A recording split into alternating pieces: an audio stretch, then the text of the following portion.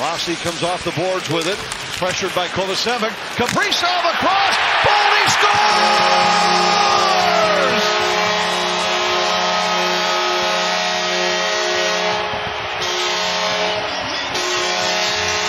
Well, Matt Boldy continues to stay hot for the Minnesota Wild. That's his eighth goal in his last 12 games.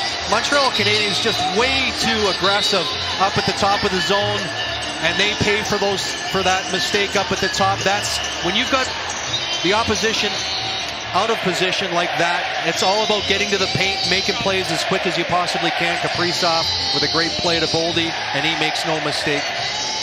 When he moves back into a tie for second among first-year players. Here's Rossi again. He scores! It's a two-point night for the rookie, Marco Rossi right on cue. Just so so fun. Both so fun to watch this kid.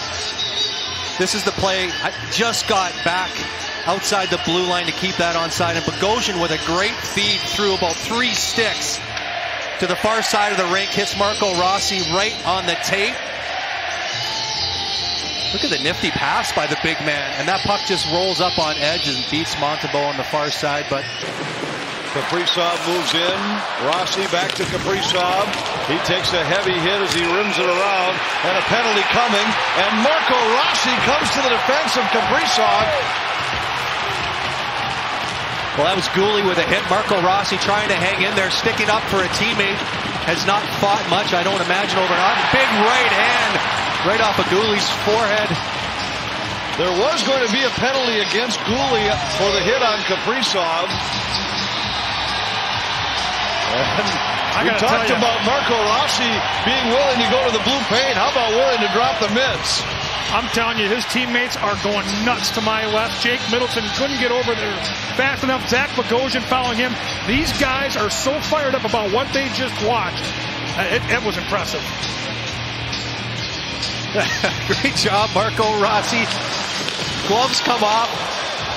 Just jumps in there after an ill-advised hit there by Guhle. Kaprizov was going to come over and help, and he's like, he, he can take care of himself. Faber moves to the middle, score!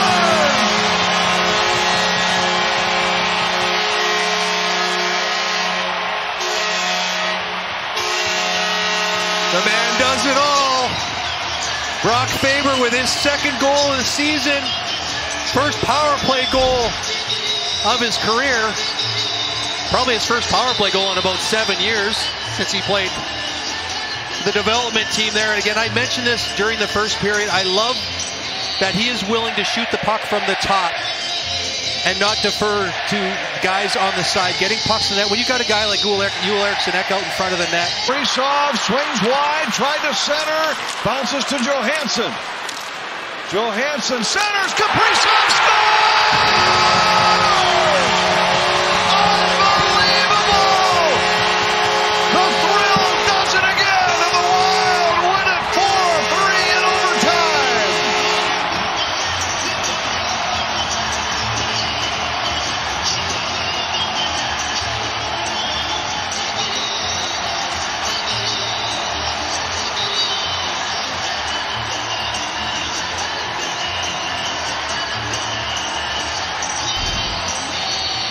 Kirill Kaprizov on the back door. What a play there by Marcus Johansson. 30-foot saucer. Kirill Kaprizov is able to just slip away. That puck lands right on his stick, and he does what he does, and that's score overtime goals. That's his eighth in a Minnesota Wild uniform. Watch how he just slick, slickly moves to the backside. What a pass by Johansson. And the Russian makes no mistake. And the overtime magic here in St. Paul continues. Wild have had four of their last five games go to the extra session. They've won all four of them. And Kaprizov has won each of the last two in overtime.